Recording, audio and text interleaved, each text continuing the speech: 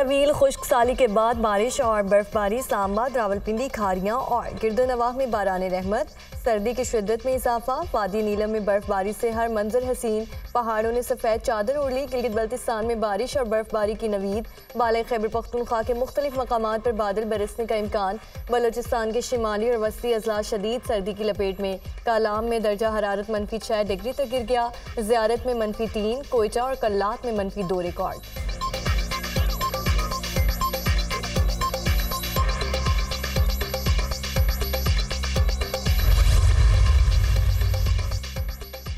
मुल्क भर में कड़ाके की सर्दी, पंजाब और खैबर पख्तूनख्वा और सिंध में धुंध का राज। धुंध ने हर मंजर धुंधला दिया। हद निगाह इंतहाई कम, ट्रैफ़िक की रवानी शदीद मुतासर, सफ़र करना महाल। मोटरवे धुंध के बायस कई मकाम पर बंद। एम टू लाहौर से फारूकाबाद, एम थ्री फैजपुर से जड़ावाला और एम फोर फैसलाबाद से पिंडी भटिया तक बंद। लाहौर से आलकोट मोटरवे को भी हर तरह की ट्रैफ़िक के लिए बंद कर दिया गया।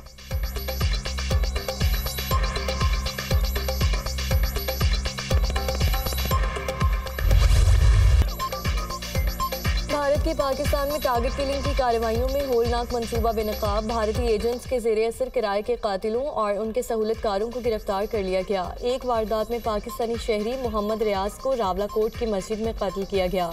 वारदात के लिए कातिल अब्दुल्ला अली के साथ सोशल मीडिया पर भारतीय एजेंट्स ने रबता करके कत्ल का टास्क दिया। सिक्योरिटी इदारों ने अब्दुल्ला अली को कराची एयरपोर्ट पर गिरफ़्तार किया। दूसरी वारदात में शाहिद लतीफ़ को सियालकोट में कत्ल किया गया। भारतीय एजेंट्स ने एक तीसरे मुल्क से मोहम्मद उमेर को पाकिस्तान भेजा, जिसने पाँच रुकनी टीम बनाई। उमेर को भी मुल्क से भागते हुए एयरपोर्ट पर गिरफ़्तार किया गया। भारतीय एजेंट्स अशोक कुमार और योगेश कुमार ने कत्ल की वारदातें कराईं। फाइनेंशियल ट्रांजेक्शन के सबूत भी मौजूद हैं। हम फ़िलहाल दो मुकदमात सामने ला रहे हैं। आलमी सतह पर भारत का मुहासबा होना चाहिए। हम अपने शहरीों के तहफ़ और ख़ुद मुख्तारी के लिए पुरआज़म हैं। कैनेडा और अमरीका में भी ऐसे ही केसेस सामने आ चुके भारत को आलमी सतह पर इसका जवाब दे बनाना होगा। सेक्रेटरी खारजा सारिस सज्जाद काजी की news briefing.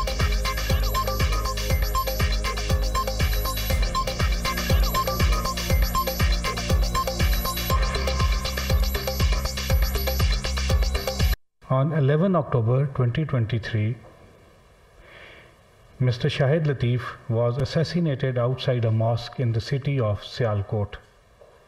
A detailed investigation revealed that an Indian agent, Yogesh Kumar, based in a third country, orchestrated the assassination. Another Indian agent was involved in the killing of another Pakistani national, Muhammad Riaz, who was assassinated during Fajr prayers in a mosque in Rawalakot on 8 September 2023. Law enforcement agencies tracked the killer, Muhammad Abdullah Ali. Interrogation revealed that Muhammad Abdullah Ali was recruited and guided by Indian agents Ashok Kumar Anand and Yogesh Kumar. The conclusions one is forced to draw that these cases reveal a growing sophistication and brazenness of Indian sponsored terror, terrorist acts in Pakistan. Iran का हमला गलत था इसलिए जवाब दिया credit Askari क्यादत को जाता है। ईरान के साथ सरहद का कोई मसला नहीं। कोई हम पर हमला करे और जवाब ना दें ऐसा कोई ऑप्शन नहीं। हम साया मुल्क ने तस्लीम किया कि बॉर्डर पर मारे गए अफराद गैर मुल्की थे। गैर मुल्की अफराद ईरान की हदूद में क्या कर रहे थे? ईरान को जवाब भारत के लिए पैगाम था। निगरान वजी अजम अनवारुल काकर का इंटरव्यू।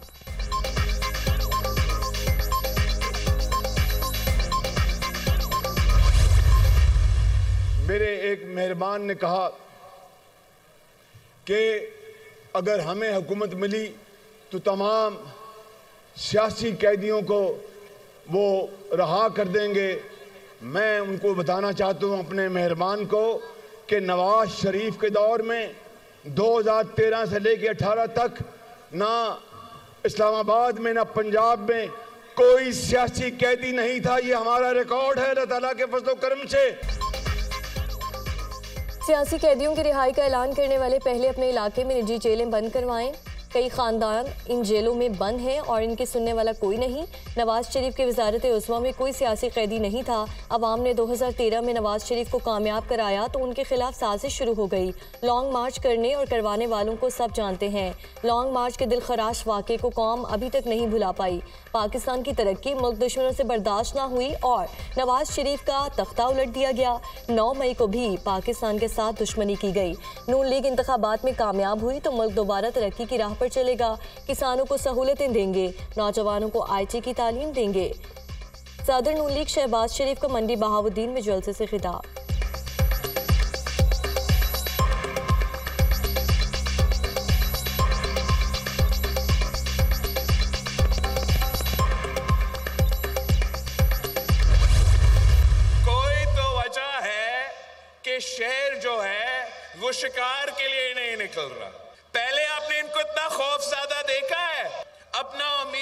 चौथी बार वज़ीर आज़म का इलेक्शन लड़ रहा है, वो तो कहता है कि उनका जो मंशूर है, उस पे काम चल रहा है।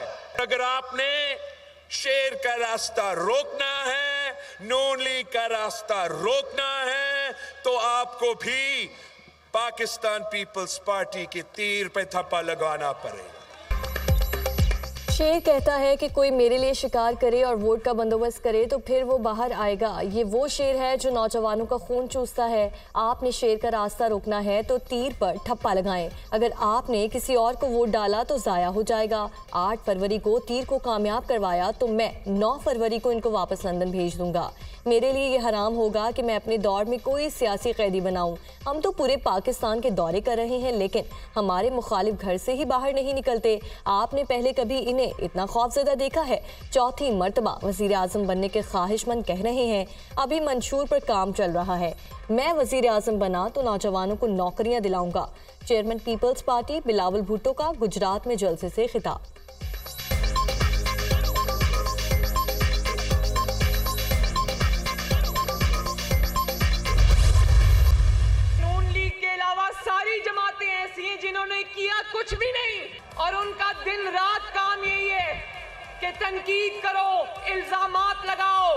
जमातें आजकल पंजाब में ऐसी भी आई हुई हैं, जिन्होंने पंद्रह पंद्रह साल एक सूबे में हुकूमत की है और आज पूछो कि पंद्रह साल में पंद्रह मंसूबे गिनवा दो तो कुछ भी नहीं है बताने के लिए। पंजाब नवाज़ शरीफ पर तनकीद नहीं सुनता नून लीग के सिवा किसी पार्टी ने कुछ नहीं किया। पंद्रह साल एक सूबे में बरसर इकतदार रहने वालों के पास बताने के लिए पंद्रह मनसूबे नहीं। दो हज़ार अठारह में नाअहल किया गया। वालिद के साथ खड़ा होने की सजा दी गई। कायद नून लीग को जहाँ अवाम ने मैंडेट दिया, वहाँ काम करवाया। एक शख्स पंजाब में आकर कहता है, नवाज़ शरीफ ने मंशूर नहीं दिया। कायद नून लीग ने बातें नहीं की, मंशूर दिया तो उस पर अमल भी किया। प्रेस कॉन्फ्रेंस में कागज़ नहीं लहराए। नवाज़ शरीफ का मंशूर ऑरेंज लाइन अंडर पासिस है। एन ए एक सौ उन्नीस मेरा घर है। इलेक्शन की इजाज़त लेने आई थी। आपने फैसला सुना दिया। मरीम नवाज़ का लाहौर में कारकुनों से खिताब।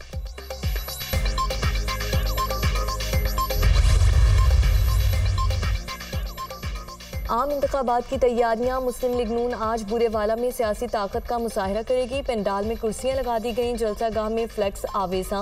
कायद नून लीग नवाज़ शरीफ और मरियम नवाज़ जलसे से खिताब करेंगी।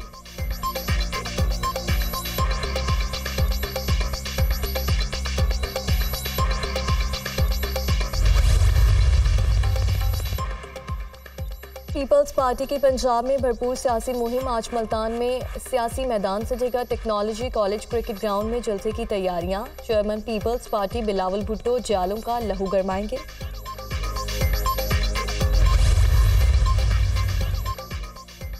अमेरिका की दिलचस्पी सिर्फ़ जमहूरी अमल में है। पाकिस्तान में मुस्तबिल की क़्यादत का फैसला पाकिस्तानी अवाम को करना है। सहाफ़ी मुनफाना और शफाफ इंतबात की कवरेज में अहम किरदार अदा करते हैं। पाकिस्तान में आज़ादी इजहार पर पाबंदियों से मुतल रिपोर्ट पर तशवीश है। खत्े में बढ़ती हुई कशीदगी पर भी तशवीश है। पाकिस्तानी हम मनसब से रबते में हैं।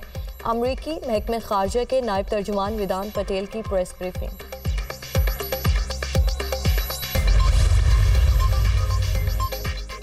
बानी पीटीआई और शाह महमूद कुरैशी के खिलाफ साइफर केस की समात आज अडयाला जेल में होगी। खसूसी अदालत के जज अबुल असनाद, जुलकरनैन अडयाला जेल में समात करेंगे। वकला सफ़ाई इसगासा के गवाहान पर जर्राह करेंगे। गुजशत रोज़ वकला सफ़ाई के अदम दस्याबी के बायस समात मुलतवी की गई थी।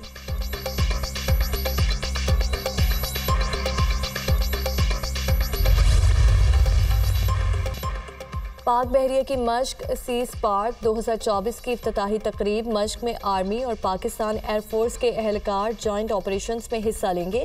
मश्क खत्े में अमन सलामती को बरकरार रखने के पाकिस्तान के अज़म को मजीद तकवीत फराहम करेगी।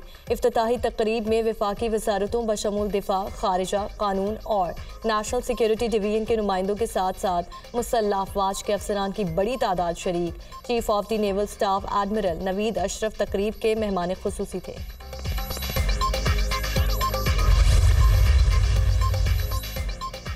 आलमी अदालत इंसाफ फ़लस्तियों की नसल कुशी के खिलाफ केस का फैसला आज सुनाएगी। फैसला सत्रह जजेस पर मुश्तमिल पैनल सुनाएगा। इसराइल गजा में नसल कुशी कन्वेंशन की खिलाफ वर्जी कर रहा है।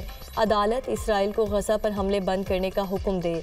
जनूबी अफ्रीका का आलमी इसराइल के खिलाफ दरख्वास्त में मौका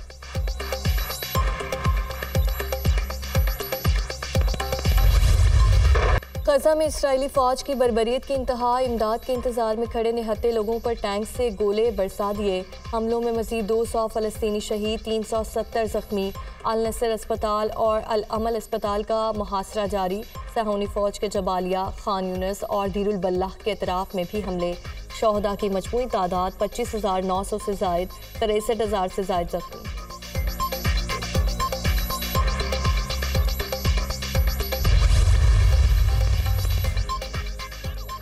सहूनी फोर्सेस की गजा में फ़लस्तियों के खिलाफ साजिश। एक किलोमीटर के दायरे में बफर जोन बनाना शुरू कर दिया। अट्ठाईस सौ में से ग्यारह सौ इमारतों को मलिया मेट कर दिया। सहूनी फौज ने बफर जोन में बारूदी सुरंगें बिछाना शुरू कर दी। बरतानवी अखबार का दावा।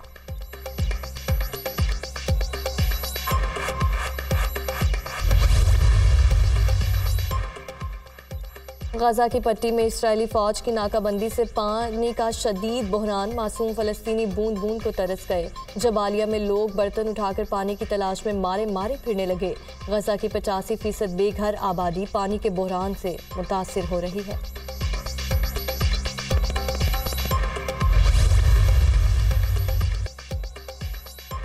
बरतानिया ने सौ साल कबल घाना से लूटे, नवादरात वापस कर दिए विक्टोरिया एंडलबर्ट और ब्रिटिश म्यूज़ियम ने बत्तीस सलाई नवादरात बतौर कर्ज वापस किए। नवादरात काबिल तोसी माहदे के तहत तीन साल के लिए घाना को दिए गए हैं। नवादरात उन्नीसवीं सदी में बरतानिया और घाना के दरमियान होने वाली जंगों के दौरान लूटे गए थे।